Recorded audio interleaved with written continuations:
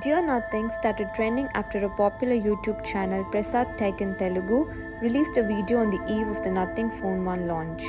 The creator unboxed an empty Nothing Phone 1 box on screen with a letter inside.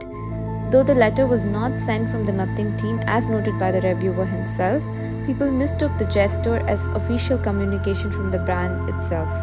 Hence, Boycott Nothing started trending along with Dear Nothing.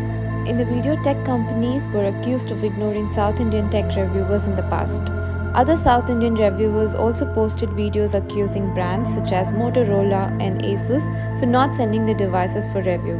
Nothing has officially not responded to the incident yet.